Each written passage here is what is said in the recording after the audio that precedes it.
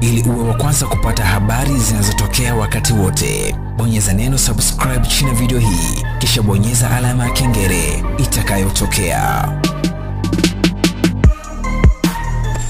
Mheshimiwa Mwinyi Talib Haji, mwanasheria mkuu wa Zanzibar, Mheshimiwa Naibu Katibu Mkuu wa CCM Dr. Abdallah Sadallah, Dr. Abdul Hamid Yahya Mzee, Katibu wa Baraza la Mapinduzi na Katibu Mkuu Kiongozi, Waheshimiwa wajumbe wa Baraza la Wawakilishi mliopo hapa, makamanda wa vyombo vya ulinzi na usalama mliopo, viongozi wa vyama vya siasa, viongozi wa dini mbalimbali mbali, viongozi wa vyama vya siasa na serikali mliopo, ndugu wageni waalikwa, wanahabari, mabibi na mabwana, assalamu alaikum. Nianze kwa kumshukuru Mwenyezi Mungu mwingi wa rehma kwa kutujalia uhai na uzima na kutuwezesha kukutana leo hapa katika shughuli hii muhimu ya kuwaapisha waheshimiwa mawaziri niliowateua. Pili, ni washukuru mawaziri wote kwa kukubali uteuzi wangu. Niseme tu kwamba hakuna hata mmoja kati yao niliyemwambia kwamba nitamteua, na kwa hivyo kuwaona leo hapa wako wote ni ishara kwamba wamepokea uteuzi wangu na washukuru sana. Sasa kwa kuwa kitendo hiki cha kuwapa kimewafanya nyinyi tayari mmekuwa mawaziri na kwamba kazi inaanza mara moja, nimesimama mbele yenu kutoa maagizo kama alivyosema katibu mkuu kiongozi kwamba siku natangaza baraza, niliulizwa unawaambiaje mawaziri uliowateua? Nikasema nitawaambia siku ninaowaapisha. Kwa hiyo ndio leo maagizo ni haya yafuatayo. Kwanza, kila waziri ahakikishe anaijua wizara yake na taasisi zilizo chini ya wizara husika haraka iwezekanavyo. Hakuna muda. Mkifika hakikisheni mnajua muundo wa wizara kila mmoja wenu, na hakikisha unajua kila taasisi iliyokuwa chini ya wizara yako kwa kuitembelea na kujua mafanikio yake na changamoto zake, na hilo lazima lifanyike haraka. Pili, tengenezeni mpango kazi wenye bajeti. Mtatengeneza vipi mpango kazi? Dokumenti zifuatazo muwe nazo kwa ajili ya kutengeneza mpango kazi. Kwanza, ilani ya uchaguzi inasema nini juu ya wizara yako? Pili, hotuba yangu ya ufunguzi wa baraza la wawakilishi inakuelekeza nini katika wizara yako? Tatu, ahadi zangu wakati wa kampeni zinasemaje?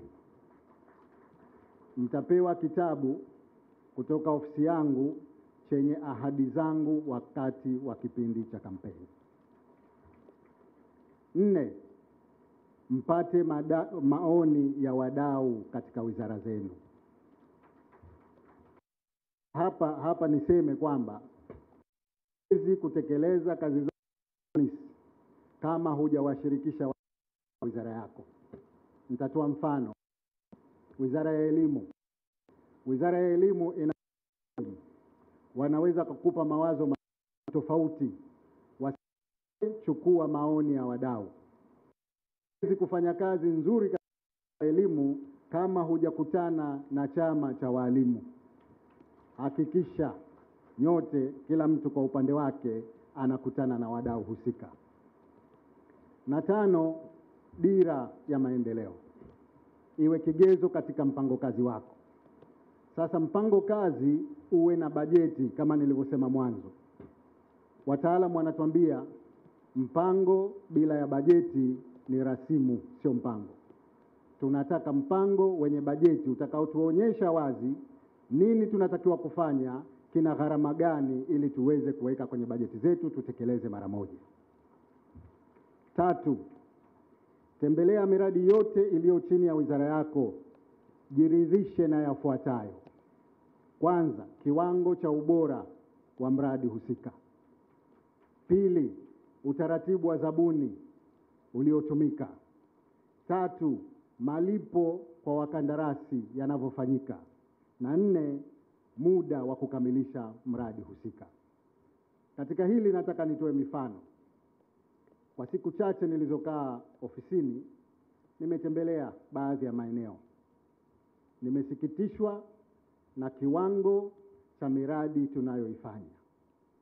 Mathalan, nimekwenda hospitali ya Mnazi Moja, tuna mradi pale wa jengo la hospitali wa, wa, wa, wa jengo la macho pale juu kuna theater ya kisasa kwa ajili ya kufanya operation za macho. Mpaka leo haifanyi kazi, sababu kuna beseni moja la wa madaktari kuosha, kujiosha kabla ya kuingia kwenye operation halijawekwa. Mkandarasi ameshalipwa fedha zote. Haiwezekani. Haya ndiyo tunayoyasema, hatuwezi kukubali mambo ya namna hii.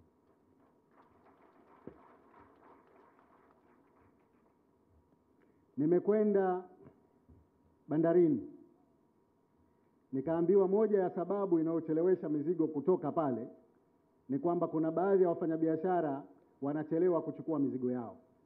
Wameifanya bandari kuwa ni sehemu ya kuhifadhia bidhaa zao. Nikauliza, kuna hatua gani mnazozichukua? Nikaambiwa kule Saateni kuna jengo limejengwa ambalo ni custom warehouse, kwamba bidhaa hizi ambazo hazichukuliwi zikawekwe kule ili kutoa nafasi ya bandarini. Nikasema twendeni kwenye custom warehouse. Custom warehouse ime, imechelewa kukamilika kwa miezi mitatu, mkandarasi kashalipwa pesa zote. Watu wanaendelea kukosa nafasi bandarini kwa sababu mizigo imejaa. Hali hii iko kila sehemu. Tuweke mwisho katika mambo haya. Jana Mheshimiwa Makamu wa Pili wa Rais amekwenda kuangalia mradi wa kutotolesha vifaranga vya samaki. Tukiwa field kule, tunazungumza na watu, tunawaambia kwamba tutazalisha vifaranga milioni moja kwa ajili ya wafugaji wa samaki. Alichokiona jana pale, nyinyi mashahidi, kama mlitizama TV, samaki watano, majongoo watatu, kaa mmoja, haiwezekani. Nataka maelezo ya kina, ripoti ya kina juu ya mradi ule, fedha zilizotumika na kwa nini mradi uko namna ile, mara moja.